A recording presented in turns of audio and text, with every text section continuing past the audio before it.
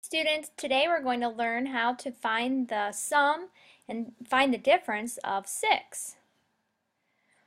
Well, this video goes with a series of 2s, 3s, 4s, and 5s and finding those using odds and evens.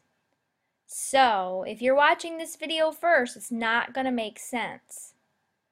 But if you look at the red crossed off facts, you don't even need to know those because you've already used strategies with odds and evens that they're gone. So you don't even need to worry about those. We don't have very many facts left when we get up to 6, 7, 8, and 9 because we've already taken care of them when we built our foundation with our 2s, 4s, 3s, and 5s using odd and even numbers. Again, you have to know your odd and even numbers, forwards and backwards, without even thinking. I promise, if you know those, you will go, you'll fly quickly through your flashcards. Well, let's show you how it works with sixes. 8 plus 6. Kind of forget the 6 in your head, find the 8. 8 is an even number, so we're going to go over here. Now I'm only using this right now to show you, but you have to have these in your head.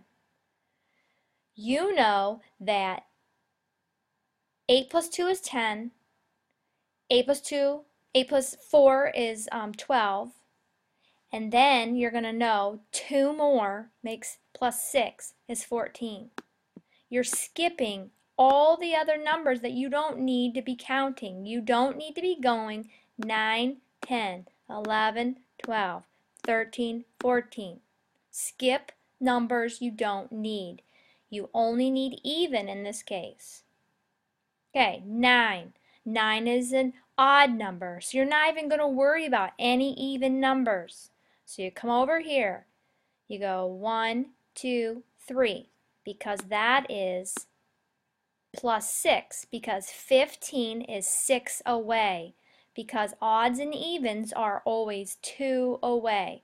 This is two away, two away, two away. Seven is an odd. Two, four, six. Thirteen. It also works with subtraction. This time you go backwards. 14 is even, so we're skipping all odd numbers. 14, you would go, that's 2, that's 4, and that's 6. 12, 2, 4, 6. 15, 2, 4, 6. 13, 2, 4, 6.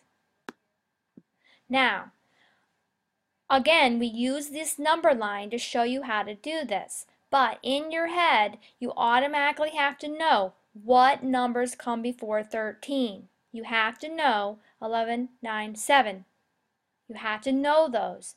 If you know those, like you know how to spell your name, like it's just a part of you, odds and evens, I promise you will go quickly through all your math facts.